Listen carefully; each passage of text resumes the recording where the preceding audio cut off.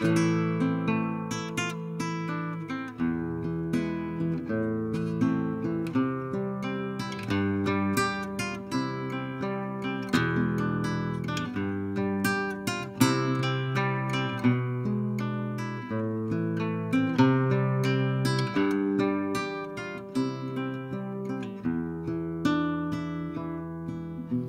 vart och ett av världens fyra hörn där står ett troll och blåser spröda toner i en flöjt.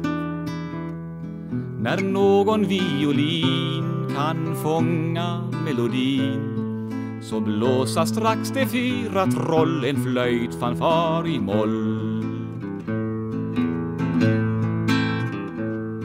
Då duggar stjärnor ner i miljoner och solen springer sönder med en knall.